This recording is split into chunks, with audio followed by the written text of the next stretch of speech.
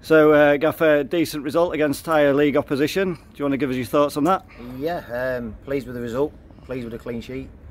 Uh, not pleased with the first half performance, uh, I'll be honest with you. Um, terrible in possession, um, terrible game, I thought, first half. Both teams didn't keep the ball well enough. I thought um, it was a hot potato and uh, it's something that we need to work on a little bit. We've got it in the locker. I thought Saturday we kept it really well. Tonight we didn't, um, and we were too erratic. So, but I thought as the game went on, considering they played two teams, uh, we looked the stronger, we looked more fitter, we were more.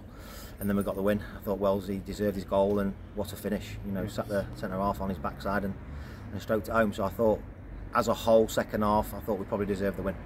As you say, thinking about uh, thinking about Wellesley in the last few games, is uh, he's popped a couple in back at net. We're hoping for that for the rest of the season. Yeah, we've asked him to play a different role um, to what he used to when he was here last. He played, he did all the Wellesley, uh, Hazels and uh, Marget's running, didn't he? And he was probably shy of goals. But last time he played for me as a nine, he scored 30 in this league. So he's got everything in the locker as a nine, big, strong, works the line tirelessly.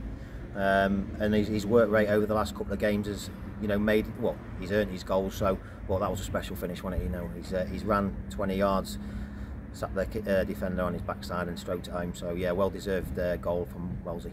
And then we've got uh, Askew, obviously uh, in our net, clean sheet again, kept us in it a couple of times tonight. What do you, what do you reckon? Yeah, I think I think again. I, I looked at the, the, game as a whole, and I don't think they. I think he's had two saves in the whole game. Yeah, two, two I don't. Do. Yeah, I don't think he's had a lot to do in the game. They've not really tested him. A lot of got, a lot of balls were high and direct, and yeah, another one who's come in and done really well. He just needs to, to touch up on certain aspects of his game. But we, we're a brand new group. We've, we've got 18, 19 new players, and you know we've got Brad Beeks and Kingy Keegan missing tonight. Woolley didn't play, so they're big players for us.